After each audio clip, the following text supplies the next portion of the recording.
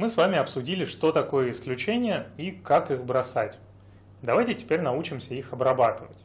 В данном примере мы в цикле читаем вводимые пользователем выражения и вычисляем их. В случае ошибки в выражении будем вежливо просить пользователя повторить ввод. Для обработки исключений в языке есть конструкция try-catch. Внутри try блок кода, где могут случаться исключения. А далее один или более блок catch с классом исключения, именем переменной, куда мы сложим это исключение на время обработки, и, собственно, кодом обработчика.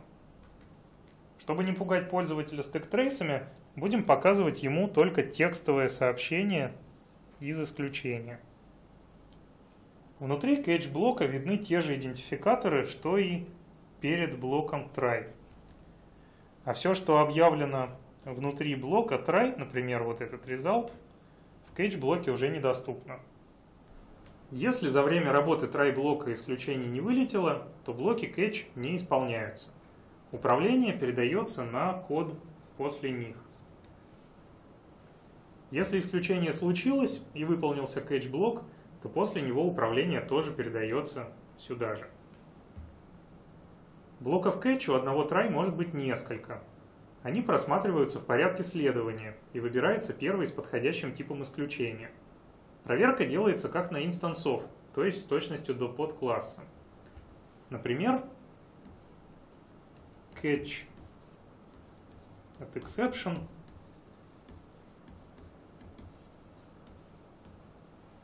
означает обработку любого типа исключения, проверяемого или непроверяемого, кроме ошибок JVM. А catch от throwable поймает вообще все, включая ошибки виртуальной машины. Выполниться может только один, первый подходящий блок catch. Другие уже не будут выполняться. Начиная с Java 7 стало возможно в одном catch-блоке обрабатывать несколько типов исключений. Это удобно, когда исключения не являются подклассами друг друга, но тем не менее должны обрабатываться одинаково. После try может быть еще один блок – finally. Он выполнится в любом случае, было исключение или нет, исполнился какой-то catch-блок или нет. Finally исполняется последним. В этом блоке обычно занимаются освобождением ресурсов, закрытием файлов, снятием блокировок. Finally не является обработчиком исключения, то есть если из блока try вылетело исключение, то после отработки блока finally это исключение полетит дальше. Это характерный, часто встречающийся пример использования блока try-catch. Но у него есть один недостаток. Если в блоке try случилось исключение, и исключение также случилось при вызове close, то дальше из этого блока полетит исключение, брошенное из close, а исходное будет потеряно.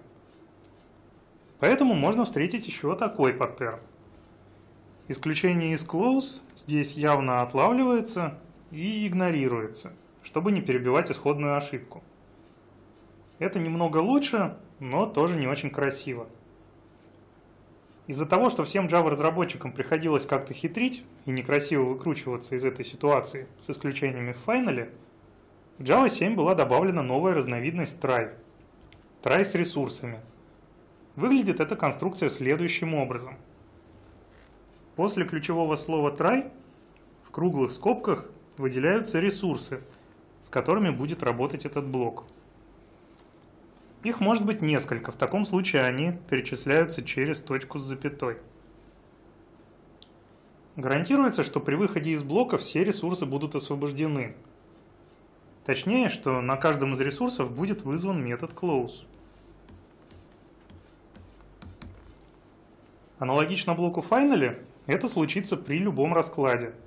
Было исключение или не было.